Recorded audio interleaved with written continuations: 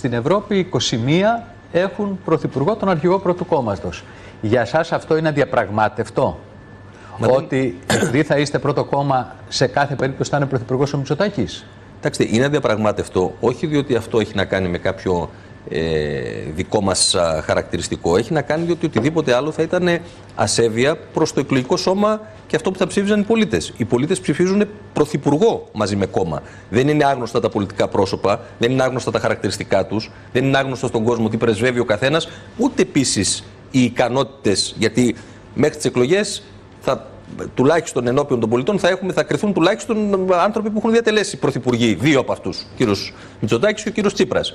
Συνεπώς, δεν μπορεί κανείς να αγνοήσει την επιλογή των πολιτών και την ψήφο τους. Ε, θα είναι ύβρις αυτό προς την επιλογή των πολιτών να πει κάποιος ότι το αγνοώ ή δεν το υπολογίζω ή πάω σε οτιδήποτε άλλο.